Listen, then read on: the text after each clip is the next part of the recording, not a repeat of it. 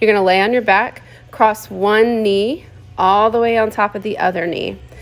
And what you're gonna do here is you're gonna take a um, deep breath in. As you deep breath in, you're gonna suck it in good. And when you exhale, I want you to try to push your back flat. Really try to push the back flat on that side that feels closer to the table, but try to spread it out evenly for a good stretch. Again, inhale in deep. When you exhale out, really push down, tuck that rib cage down, push the back flat, get a good stretch through the back.